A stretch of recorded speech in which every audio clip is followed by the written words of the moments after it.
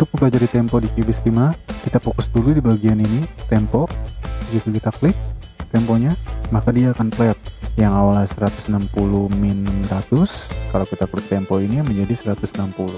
Kita juga bisa men-set variasi temponya, misalnya temponya dari cepat, lambat, dari lambat ke cepat. Jadi kita bisa pergi ke bagian project, tempo track, atau control T di keyboard kita seperti ini juga kita perhatikan interface-nya di sini ada garis berwarna hitam.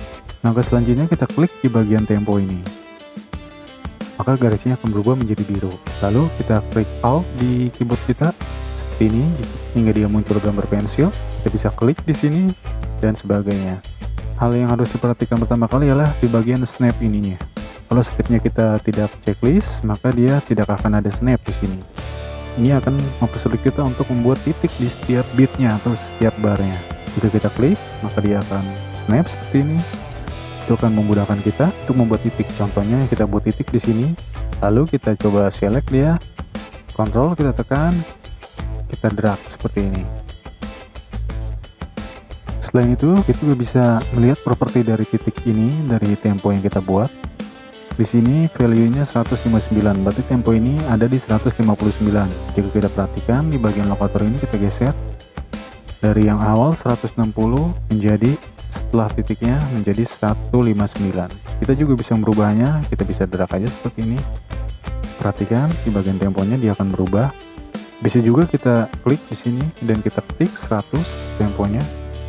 Jadi kita bisa lihat setelah lokator ini bergerak dan dia akan menjadi 100 temponya lalu misalnya kita percepat lagi temponya seperti ini kita klik alt di keyboard kita kita bikin titik kita bisa drag dia ke atas kita lihat propertinya dia ada di 160 misalnya di sini kita bikin 150 maka setelah lokator ini melewati titik ini temponya akan menjadi 150 yang ini 100 dan ini 150 jika kita klik, maka musik file milik kita akan mengikuti tempo yang telah kita buat. Contohnya seperti ini dari tempo 160 menjadi 100 dan 150. Itulah cara setting tempo yang termudah untuk kita membuat lagu kita. Misalnya temponya tidak variatif gitu berubah-ubah. Di sini juga ada pilihan erase untuk menghapus temponya. Menghapus titik ini. Di sini ada zoomnya misalnya kita bikin titik di sini kita bisa zoom kita klik maka dia akan menzoom in untuk men zoom out seperti itu untuk zoom selection kita bisa block dia di sini misalnya kita ingin fokus di bagian yang titik ini maka zoom ini akan fokus di bagian titik ini. Lalu selanjutnya di sini ada draw untuk menggambar. Bisa juga setelah kita mempunyai tools ini kita klik out. Seperti ini maka dia akan berbentuk tools ini. Sama juga kita bisa langsung ke sini atau kita klik kanan.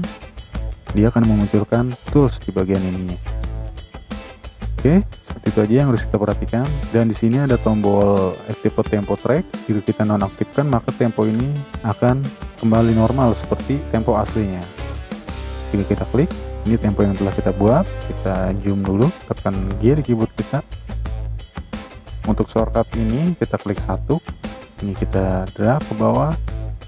Sekarang kita lihat aktif temponya. Maka tempo yang kita set sebelumnya ini maka dia akan balik ke tempo awal ya seperti ini kita lihat di bagian ininya 160 jika kita klik ini maka tempo yang telah kita buat. Itulah cara kita untuk membuat tempo dan fungsinya sangat penting apabila kita ingin membuat lagu dan tempo dari lagu kita itu variatif tidak satu tempo aja. Begitulah cara setting di Cubase ini